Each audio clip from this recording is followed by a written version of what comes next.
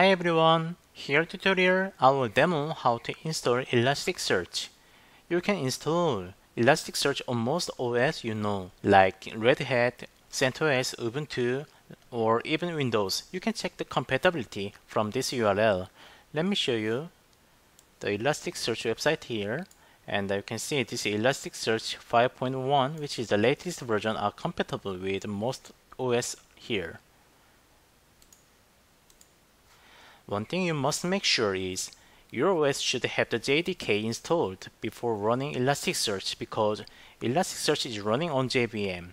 I will use Elasticsearch 5.0.2 and JDK 8 version or higher version should be fine.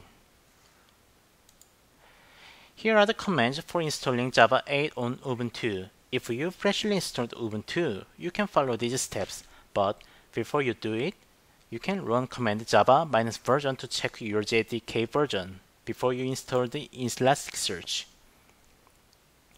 You can download and install file from elastic.co website. Choose your install file according to your OS. I downloaded DB file since I use Ubuntu. Once you install, Elasticsearch will be installed at user share Elasticsearch directory and configuration file will be at the etc Elasticsearch and the script will be at etc init.d. We don't need to touch any files for now. Let's make the Elasticsearch automatically start and stop when server starts and shut down with this command. Now everything is ready. You can start and stop using this command. Also, you can check if your Elasticsearch is running by command curl. Let me bring mine now.